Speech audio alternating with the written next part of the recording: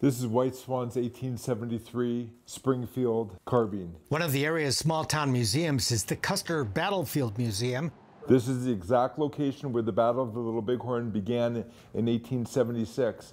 In tiny Garryowen, Montana, named after the 7th Cavalry's regimental marching tune.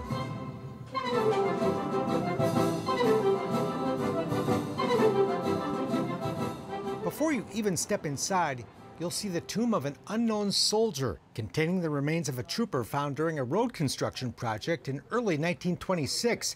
That June, battle survivors shook hands and actually buried a hatchet as they dedicated the tomb during ceremonies marking the 50th anniversary of the battle.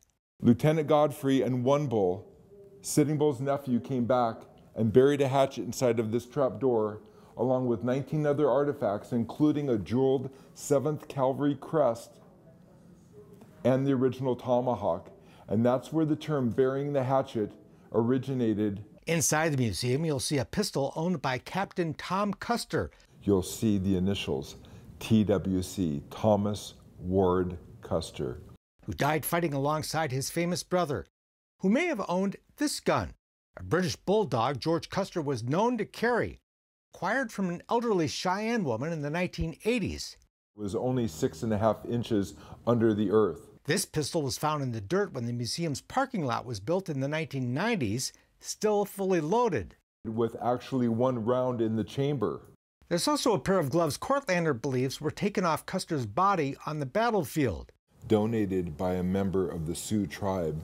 There are beautiful Native American artifacts, a Gros Ventre war shirt, pre 1876, the headdress of Cheyenne Chief Little Wolf. And you can see his war paint that has rubbed off on the back of the headdress. And a war club and pipe bag belonging to Sitting Bull.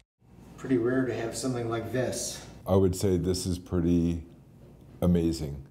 Plus, Sitting Bull's contract to appear in Buffalo Bill Cody's Wild West show. Sitting Bull is to have his sole right to sell his photographs and autographs. Sitting Bull and Custer were among the many notables of the day captured on film by frontier photographer David F. Barry. This is Rain in the Face. A collection of Barry's images and the many other artifacts you'll see here provide a window into a bygone world that remains endlessly fascinating.